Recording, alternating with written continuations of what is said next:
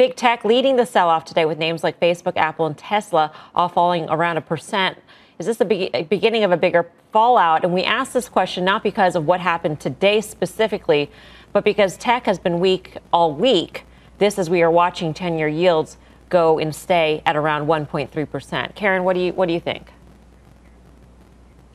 Well, for the, the FANG names that I own, I think of them more on the value side. So, like an Alphabet, and that's down maybe a little today, but mm-hmm. not a lot. Facebook, I think, is more specifically down on maybe it's this Australia publishing situation, uh, as well as you know some of the um, just the the political cross currents involving Facebook. Um, for names like Apple, I think this issue of rates going higher and maybe the market multiple needing to come down that that kind of makes sense to me. I'm long. Obviously, I don't like it to trade down, but I'm not selling it right here. I really believe in the fundamentals for me of the story of the 5G um, evolution and obviously the services business as well. I'm not in it for the car, just so you know, and um, I'm going to hang on to it. But I also am looking for value that's much more reasonably priced. So for me, one that I've talked about a bunch of times, I bought some more today, is FedEx trading at a you know mid-teens multiple, vastly different than mm-hmm. some of the high-flying tech names. Yeah, yeah, and that really speaks to this notion of a rotation brought on by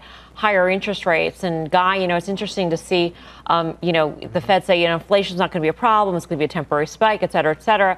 Big banks saying tipping points in terms of the Treasury yield going to be much higher. You know, JP Morgan says 2%, Citi says 1.7%, Nomura says 1.5%, and we're at 1.3%. What, what do you think unfolds here? Yeah, I'm more in the Nomura camp at one and a half percent. To me, that you know that had been again that, for years that had been support on the way down. Finally broken. You saw how low rates went. So we'll see what happens if and when we get there. And by the way, I do think we're going there.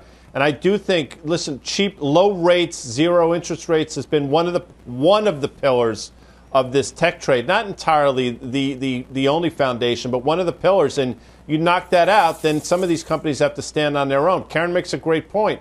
For Google, I don't think that's really an issue. I think Facebook has their own issues. Apple, maybe a little bit more so. And then we're going to talk later in the show about sort of supply constraints around semis. But make no mistake, if rates continue to go higher, I think it's really negative for the NASDAQ in general. Yeah. I mean, Apple is down for the week by 4%, whereas Alphabet is actually up by a half a percent, which really tells you sort of the bifurcation that's going on within technology when it comes to valuations, Brian Kelly.